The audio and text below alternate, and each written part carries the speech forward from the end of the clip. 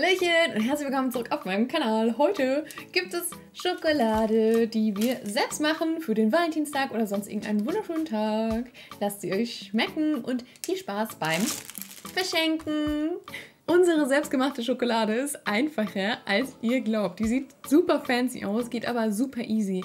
Einfach unterschiedliche Schokoladensorten kaufen. Ich habe auch von unterschiedlichen Marken, weil ich wollte einfach wissen, ob günstig oder teuer, ob das einen Unterschied macht. Es macht gar keinen Unterschied. Ich habe Markenschokolade gekauft, ich habe No-Name-Schokolade gekauft. Das einzig Wichtige ist, dass sie verschiedene Farben haben, denn wenn ihr ein Muster haben möchtet, braucht ihr einmal Zartbitterschokolade, Vollmilchschokolade und weiße Schokolade.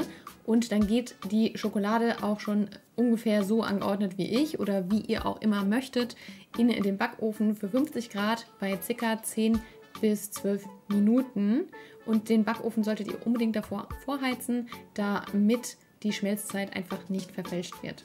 Ich habe mir in der Zwischenzeit schon mal ein paar diverse Toppings rausgesucht, wie beispielsweise die getrockneten Früchte. Ich hatte keine getrockneten Früchte, deshalb habe ich sie einfach aus den Müsli rausgeholt. Dann habe ich mir noch Mini-Brezel zurechtgelegt, Fruchtgummis. Aber man kann natürlich auch Smarties dazulegen, Nüsse, kleine Kekse, essbare Blüten, und Streudeko habe ich dann auch noch gefunden, so mit Herzchen sogar. Oder sonst irgendwas, was ihr zu Hause habt. Sobald die 10 bis 12 Minuten vorbei sind, einfach aus dem Backofen holen und ein Muster mit so einem Schachlichspieß oder mit einer Gabel oder was auch immer, irgendeinen spitzen Gegenstand, den ihr habt, den man vermengen kann, einfach so die Schokolade vermengen und dann auch schon dekorieren. Ich habe mich für die Mini-Brezel entschieden. Dann habe ich die getrockneten Früchte aus meinem Müsli genommen, die Streudeko, und Fruchtgummi. Aber ihr könnt es, wie ihr mögt, einfach dekorieren und euch hübsch machen. Denkt dran, ein bisschen festzudrücken, damit es so ein bisschen in der Schokolade ist und nicht so komplett auf der Schokolade liegt. Ich habe die Brezel dann übrigens auch noch mal ein bisschen festgedrückt, weil die hier im Video nicht so aussehen, als ob sie festgedrückt sind. Das habe ich im Nachhinein gemacht. Und dann einfach über Nacht in den Kühlschrank reinstellen. Ich habe 24 Stunden gewartet, weil ich hatte die Schokolade morgens gemacht und abends hatte ich einfach keine Lust mehr.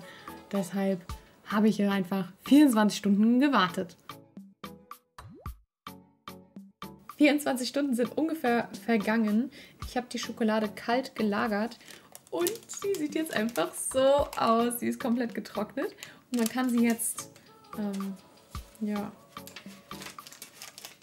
einfach hier so ein Stück nehmen. Oh mein Gott, unten drunter sieht man sogar noch das komplette Muster. und auseinanderbrechen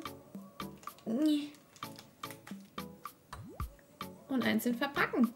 Ich habe noch von Weihnachten ein paar schöne Tütchen, deshalb verpacke ich das jetzt in so ein Weihnachtstütchen. Und schon ist es fertig. Man kann es dann noch besonders hübsch zumachen und verschenken. Ich hoffe, euch hat die Schokolade selbst gemacht genauso gefallen und genauso geschmeckt wie mir. Lasst euch schmecken und viel Spaß beim Nachmachen. Wir sehen uns im nächsten Video. Tschüsschen, eure Nessie. Tschüss.